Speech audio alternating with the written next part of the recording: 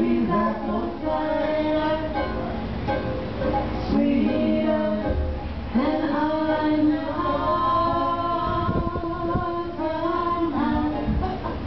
over. Sorry, I'm in the wrong thing.